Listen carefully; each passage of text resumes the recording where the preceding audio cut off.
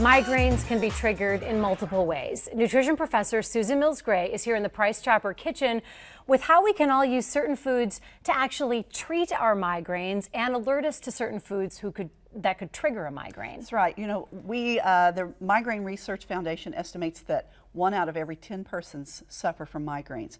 And we know there's lots of medications out there that mm -hmm. can mm-hmm. manage migraines and lessen the severity of an event. But the best advice is always to try to prevent. And believe it or not, there are lots of foods that trigger migraines. The common culprits, coffee.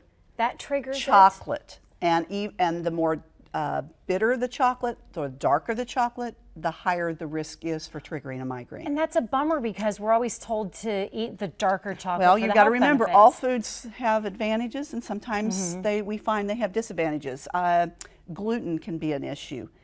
Most alcohols can, may trigger uh, migraines for certain people. So, so they're, they're and nuts, aged cheeses, even citrus fruits can trigger it for some people. Nuts can trigger it? Yes. Uh, now, what one of the well, this is artificial sweeteners, uh -huh. and so what do all these foods that trigger have in common? Really, four ingredients: monosodium glutamate, which you and I call MSG, MSG and you have to yeah. be careful because it's hidden in everything, even mm -hmm. chicken broth that you buy in the store. Uh, nuts again have uh, nitrates in them.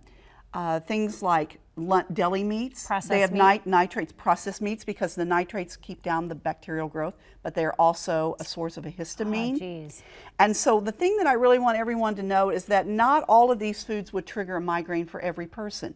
It's a very individualistic uh, condition. So uh, coffee might trigger for me, but it may not bother you at all. And the other thing is, yeah. is that how much coffee can I have or how much chocolate can I have? So you need to keep a food diary, how much you eat, and when you eat it because you will start to see patterns.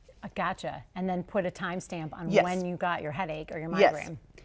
When it comes to food that you can eat to reduce your risk of a migraine, possibly, uh, you brought some examples here. Lentils, uh, research is showing that the more lentils you have in your diet, the less risk you have to have a migraine outlet. Hmm. Uh, also, leafy green vegetables and cold water fatty fish, salmon, mackerel, trout, cod. Try oh, to avoid vegetable oils, what uh, like sunflower, safflower. They contain omega-6 fatty acids, hmm. which can trigger migraines. So what would be the kind of oil you would choose for Canola uh -huh. or olive. Canola or olive, those yeah. are safe. And the one thing that I want to tell everyone is red wine. It's yeah. so healthy for your heart, but it also contains histamine, ah. same as pickled products and many of the nuts and these processed meats. Red wine also contains histamines, and that can trigger migraines for many people. Susan, thank you. All good things to take into account, particularly if you suffer from migraines.